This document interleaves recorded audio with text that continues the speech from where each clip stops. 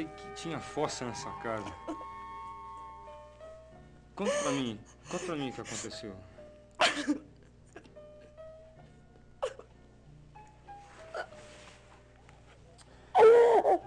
Não se preocupe.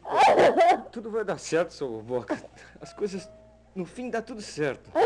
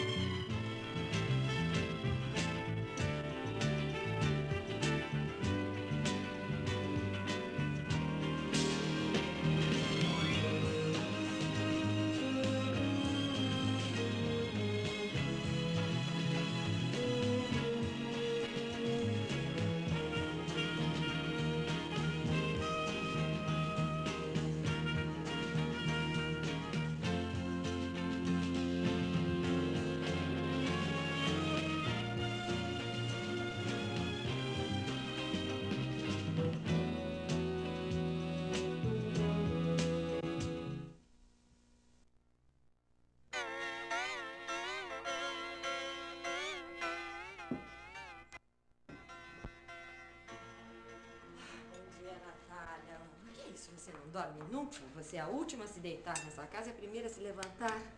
Por que, é que você não deixa a Maria servir o café? Hum, hum. Enquanto eu aguentar, quem serve meus pastorzinhos sou eu.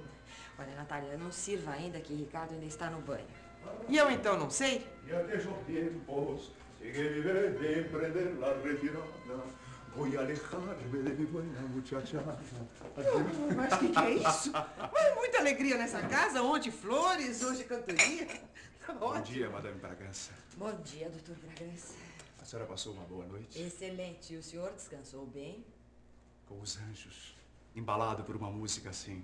Adeus, muchacho, companheiro. Hum, que cheirinho de café gostoso, gente. Nossa, o padre cantando. Eu acho que o mundo vai acabar hoje. Em primeiro lugar, bom dia, como dizem as pessoas civilizadas. Bom dia? Feliz. Bom dia. Ué, vocês ainda estão por aqui, é? Mas vocês não foram ao colégio hoje? Feriado escolar. Feriado escolar. Troco de quê? Ah, sei lá. Hoje é dia de um troço aí. Que é isso? Bonita explicação, não? O que, que quer dizer dia de um troço? Olha, a verdade é que eu não saquei direito, viu, mãe? Eu só sei que é um desses próceres aí, um desses caretas figurões que fizeram coisas importantíssimas. Que próxima coisa nenhuma. É dia de uma batalha, só isso. Batalha? Que batalha é essa? Ah, eu vou saber. Uma batalha que nós tivemos com os, franceses, os holandeses, os in... não, os ingleses nós não brigamos, não. Ah, sei lá, foi uma batalha que nós entramos e ganhamos. Não, mas, é- mas é claro que nós ganhamos. Você já, você já viu o brasileiro se meter numa pra perder? Escuta, Raul, já que você não tem que ir pro colégio hoje, você não gostaria de voltar hoje lá no escritório comigo? É, é, eu, eu adoraria, viu, pai? Mas é que não, o, o- o feriado escolar não é moleza, não, viu? É que eu vou, vou ter que fazer um trabalho sobre esse Prócer aí. E a- até eu descobrir o nome do cara, fazer a redação, isso, isso vai dar um trabalhão. Você já pensou? Bem, você tem que fazer o trabalho do colégio. Uma pena que você não possa ir. Tá com tremendo apetite, hein? Hum, é lógico, é que eu sou uma garota muito da bonitinha, sabe?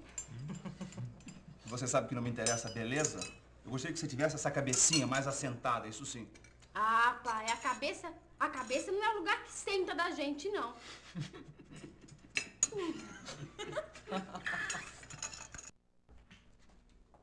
Bom dia. Bom dia. Já estão todos tomando café. Dê um telefonema para a senhora. Eu vou atender.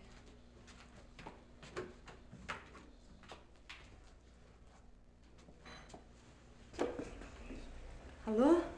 Estela? É Diana, como vai?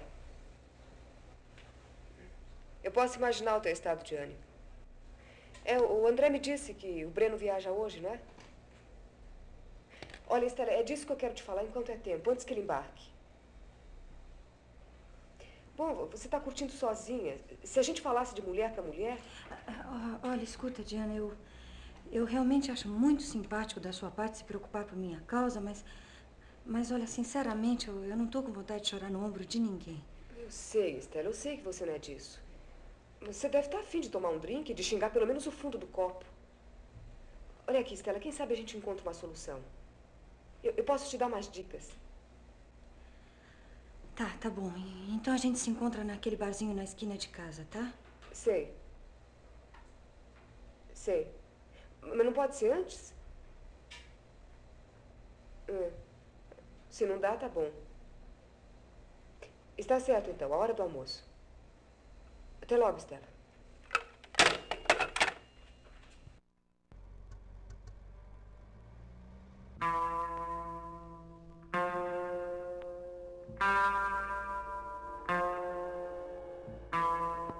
É uma reação hepática. A senhora está sentindo tudo tremido, não está? Uma, uma sensação como, como de montanha russa. É isso mesmo, doutor. Parece que eu vou cair. Não se preocupe. Com isso a senhora vai se sentir melhor. Outra injeção dentro de oito horas. Quanto mais repouso e alimentação leve. Um chazinho com torradas, um pirê de batata sem manteiga. E todo dia quieta na cama. Mas, doutor, eu tenho que trabalhar. Não, não. Hoje não. A senhora avisa que está doente e fica quietinha em casa todo dia. Mas quem é que vai fazer meu trabalho? Ih, Nazaré, o que, que é isso? Ninguém é dispensável, poxa. Eu acho melhor você ficar aí, se tratar e voltar recuperada, do que forçar o organismo e depois ficar um mês na cama. Você já sabe, não é? Cama, tranquilidade e dieta. Não é, doutor? Perfeitamente. Quanto é que eu lhe devo? Deixa isso comigo. Fica quieta aí, não se preocupe. Depois nós nos acertamos.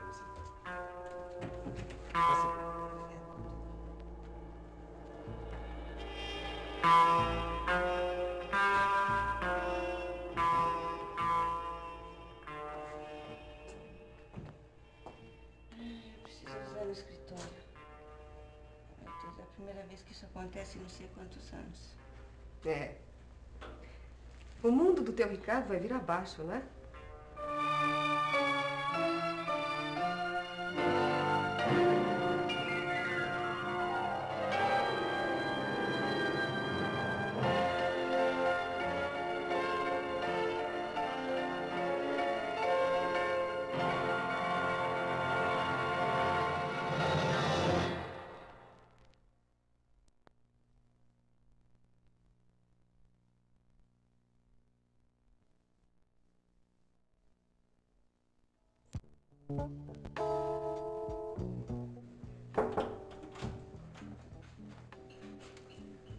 Com licença, doutor Ricardo. A dona Nazaré está doente e diz que não virá trabalhar hoje. Me diga. Puxa vida. O que, que ela tem? Eu não sei, deve ser uma ligeira indisposição, mas eu fico ajudando no lugar dela. Escuta, minha filha, em primeiro lugar, telefone para casa da Nazaré para saber exatamente o que, que ela tem. Você está precisando de alguma coisa, você quer que mande o médico, providencie o remédio, enfim. Olha aqui, a senhora faz a comunicação para ela, eu mesmo falo, é melhor. Sim, senhor. Escuta, por favor, quando eu espero a comunicação, a senhora me alcança os contratos da Mackinson Brothers. E onde é que ele está? Eu sei lá onde é que estão. Deve estar num arquivo, se vire, procure. Né? Bom, o senhor não vai reparar se eu demorar um pouco, porque eu não tenho prática nenhuma com o seu arquivo. Tá bom, eu não reparo. Por favor, me traga esse contrato em seguida.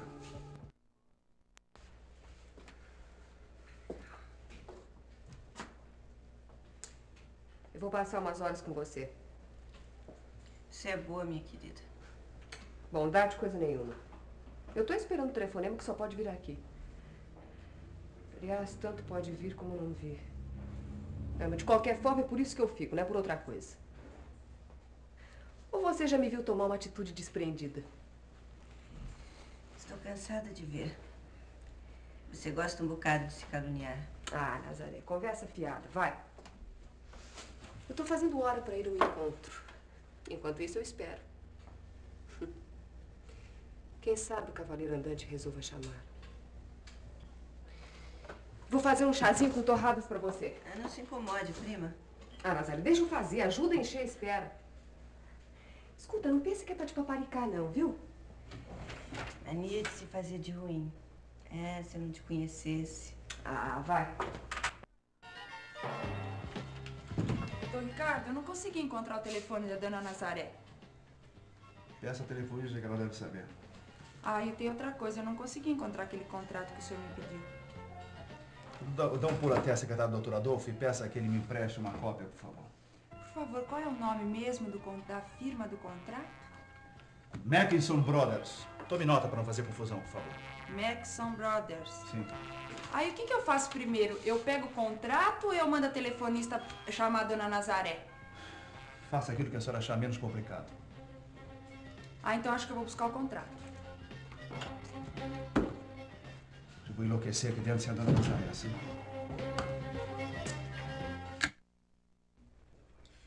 Olha aqui, Diana. Não vai pensar que foi você que me fez beber ontem à noite, não. Eu bebi porque quis.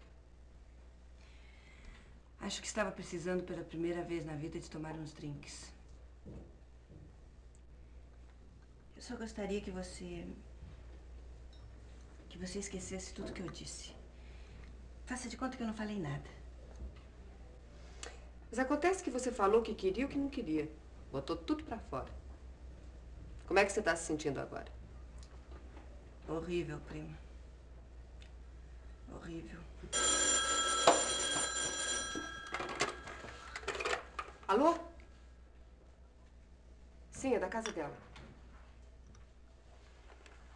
Doutor Ricardo Bragança.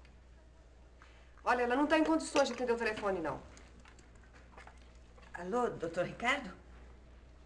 Não, dona Zélia, a senhora não se preocupe comigo. não. Eu me arranjo, a senhora pode deixar. Eu só quero que a senhora trate da sua saúde.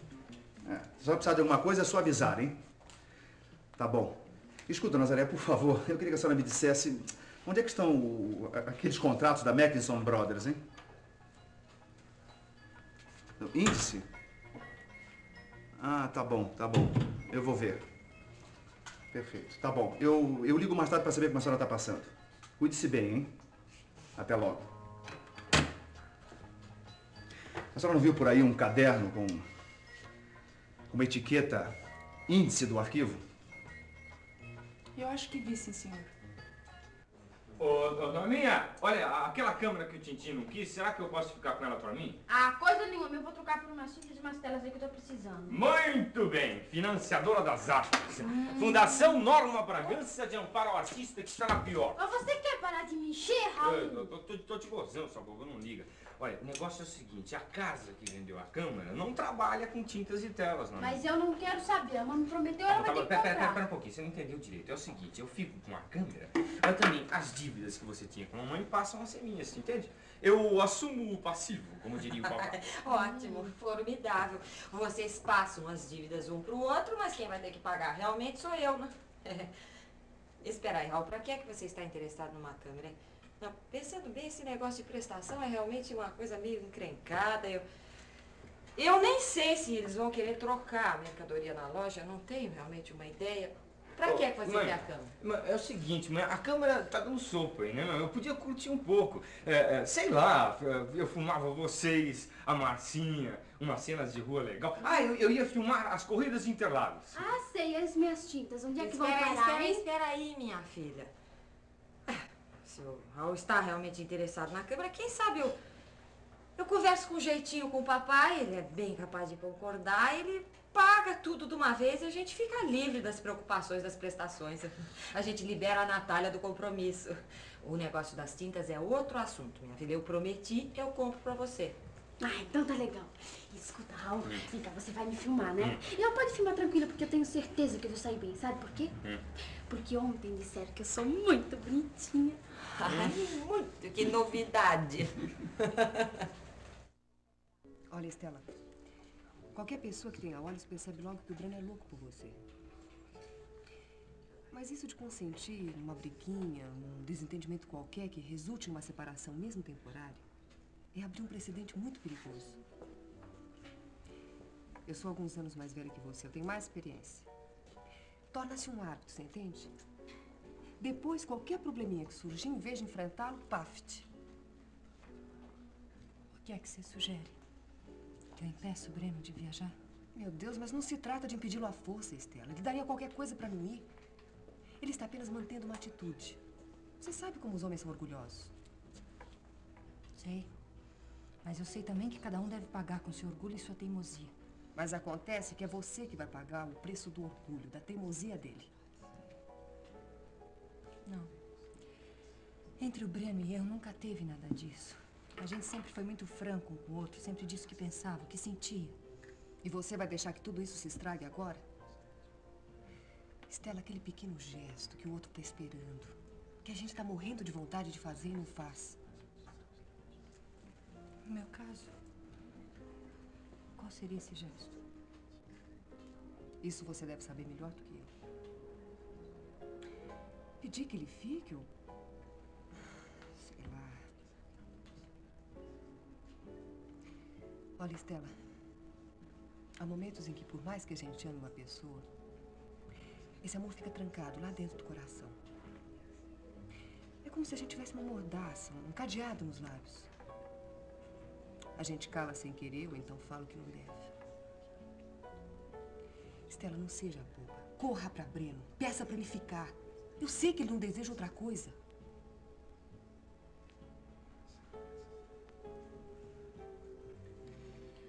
Olha, Diana, eu, eu acho muito bacana você falar tudo isso, mas você tá por fora, você não conhece a situação.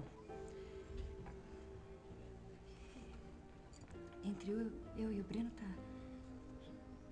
Tá havendo alguma coisa que eu, que eu não sei o que, que é.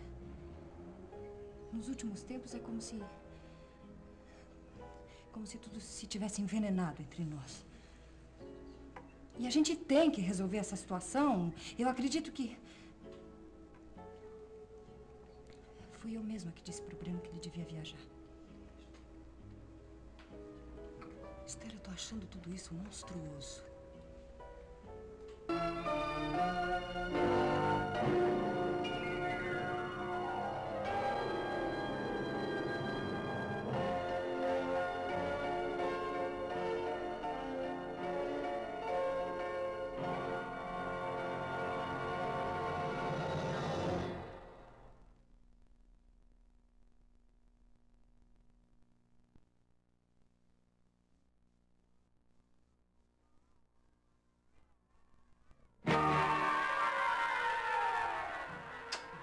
Só o que faltava você me contar uma coisa dessa. Poxa. Ele quis fazer comunicações, eu queria que ele fizesse economia. Também não fiz pressão nenhuma, né? Deixei que ele escolhesse, sei lá, com liberdade. Agora me surge com esse negócio de cinema. Ah, pera, pera, era só o que faltava, Silvio. Não, espera aí, você não está entendendo, Ricardo. Raul não está querendo a câmera para para se meter a fazer cinema realmente, mas sim para se divertir, para registrar flagrantes daqui dali. Ricardo, eu acho uma distração construtiva. E afinal, Raul tem tido boas notas. É, realmente. Ele é um rapaz estudioso. Tá bom, Silvia, dá a câmera pra ele. Quem sabe ele se interessa em, sei lá, filmar embarques de café, etapas de fabricação do solúvel. E talvez se interesse.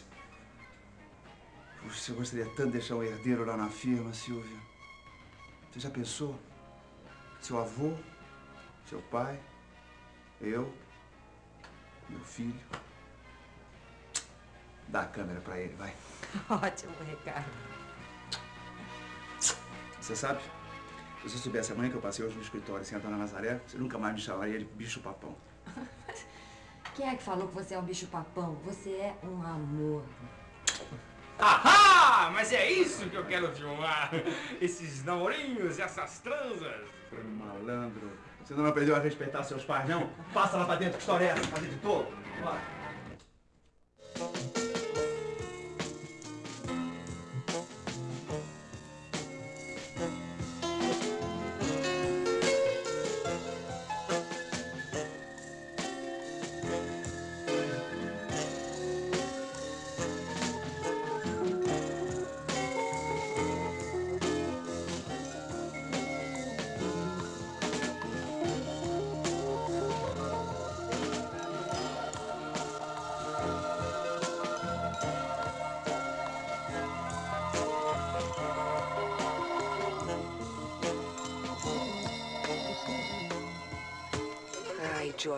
Quer colaborar.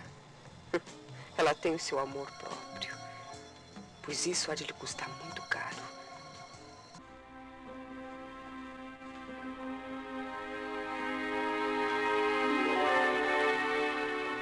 Ainda não chegou o nosso querido viajante? Ainda não. Já devia ter chegado. Como é que se passou amanhã? Em Gladys? Ué?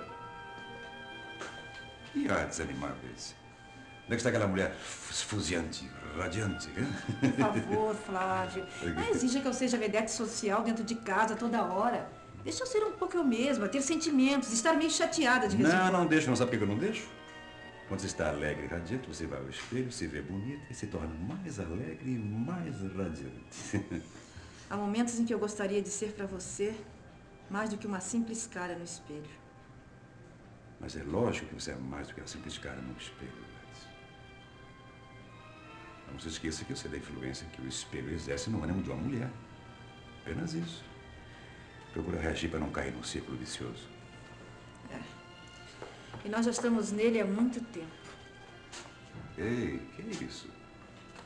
Não vai me dizer que está usando o pretexto da viagem do teu filho para pôr tudo em questão. Assim não dá certo, meu bem. Que história é essa? História é coisa nenhuma, Flávio. Só que eu não estou com vontade de dar pulos de alegria. Está errado? Está errado, erradíssimo. Eu sei que nos demos bem.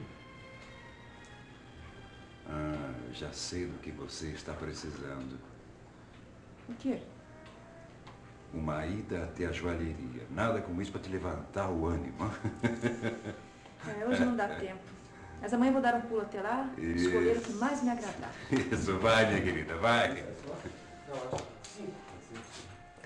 Ora, viva, finalmente, hein? O banco ia organizar lá um grande almoço, mas eu, eu vi que não daria tempo, porque ele é muito em cima do laço. Então vai ser aqui o grande almoço. Eu mandei o Carlos ver um grano Lafitte safra 63, em tua homenagem e para teu feliz regresso.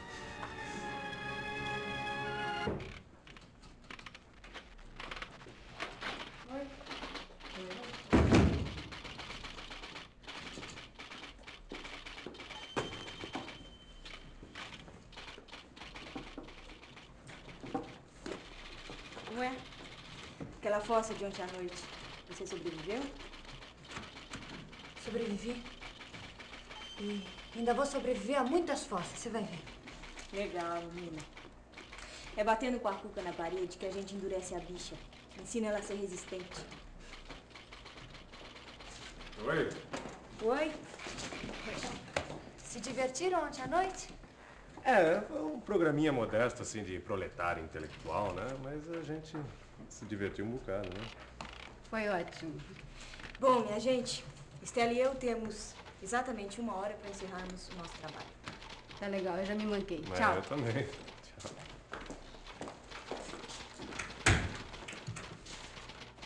Cara, só. Ué, por que você tá preocupada com a hora? É só uma revisão, vai dar tempo de sobra. Não, eu tô pensando em outra coisa.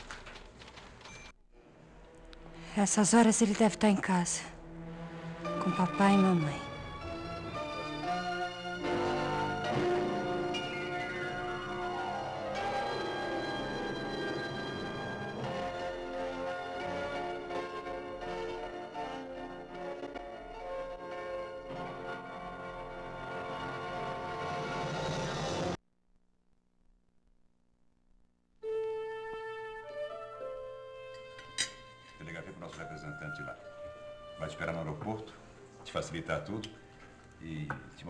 Opção de coisa que houver para ele.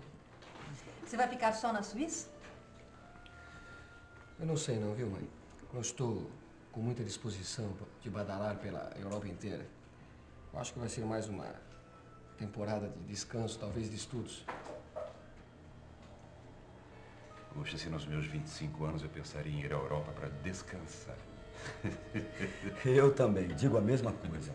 O negócio é descansar no sítio e só embarcar para a Europa depois que estiver bem descansado.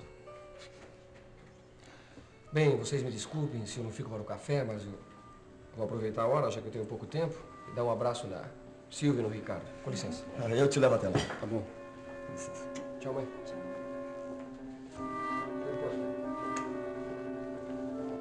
Claro, papai. Posso servir o almoço, dona Silvia? Ah, eu já... Mas sem tempo. Pode ser. De- deixa que eu atendo, Natália. Vamos indo pra mesa, gente? Oi, tia. Ô, Oi, todo chegou mundo. em tempo. Quer almoçar conosco?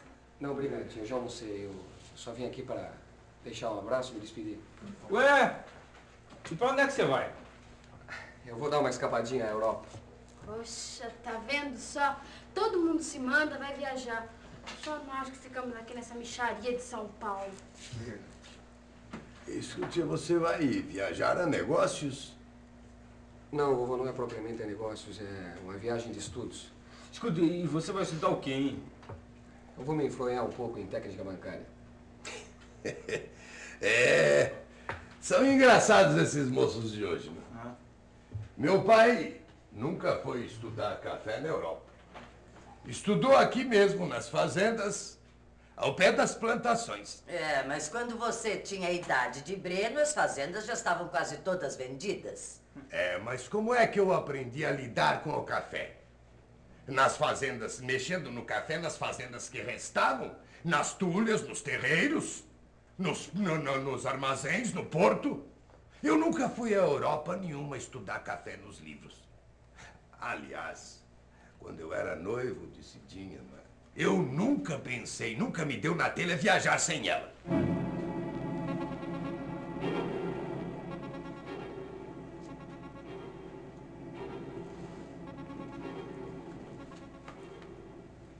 Tio Ricardo, eu queria trocar umas palavras com você, particular. Com licença, um, momentinho, vem. Com licença. Vamos, vamos